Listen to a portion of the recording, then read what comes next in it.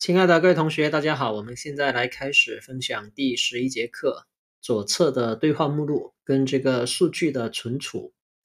首先呢，我们来回答几个问题啊。第一点呢，就是一个人用多少个账号比较好？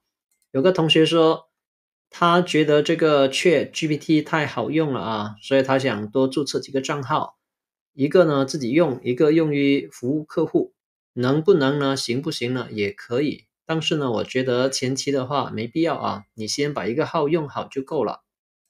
为什么呢？因为它这些目录啊，它是不会相互干扰的啊。比如说，我现在重新发起一次对话，它这个地方就会重新创建一个一个 new chat，或者你在上面这里啊，在上面这里点一下，它就会发起一个 new chat，明白吗？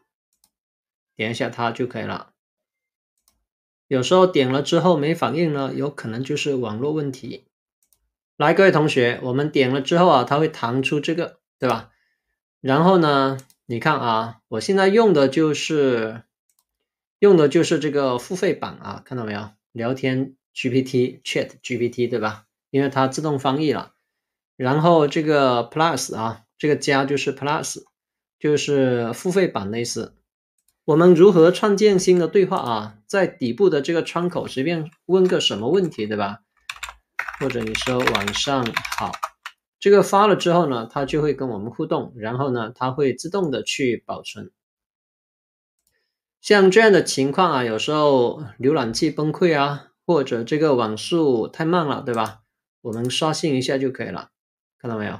刷新一下，然后呢，它这里它保存了啊，保存了你这个问候。它会自动的进行归类啊，它会自动的去抽取你跟他聊天的内容，然后给你命个名啊。有些同学说它怎么这么智能呢？它还会重命名，帮我想一个合适的主题来命名这个对话。那当然了，人家是 AI 大脑啊，明白吗？他连这个都搞不定的话，他还去跟你对话干什么？好了，你在这个新的页面跟他聊天。跟你在其他页面跟他聊天是没有相关性的啊。你看，我在这个新的对话里面，我问他：“你知道我的名字吗？”是吧？他说他不知道啊。来，我们继续来看啊。所以刚才我们说了第一个问题啊，一个人用多少个账号比较好？你先把一个账号摸熟，就是你在左边这里，对吧？你在这里创建的对话呢？它每个窗口它是不一样的，它们之间的内容是不会相互干涉的。OK，第二点，免费账号好还是付费的账号好呢？前期肯定是先用免费的啦，因为一个免费账号一天也可以发起两百次左右的对话啊，你只要分摊时间到一些没有太多人用的时段就行了。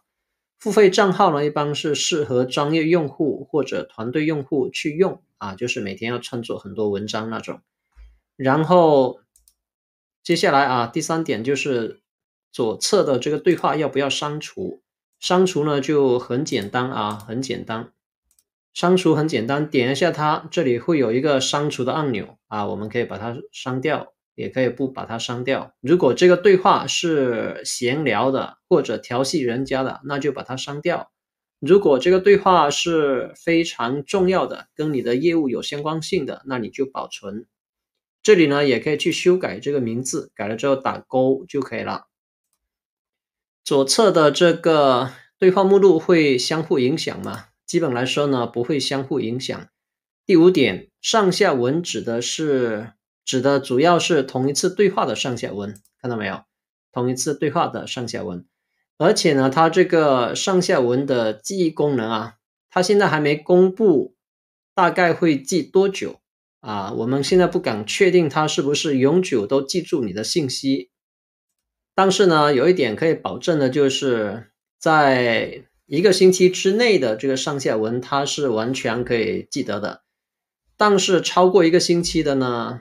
它有一部分呢会选择性的忽略，所以呢有一些关键信息呢，你可以先把它单独整理出来啊，整理出来，然后呢，如果他忘记的时候，你可以重新再发给他啊，就这样，非常简单。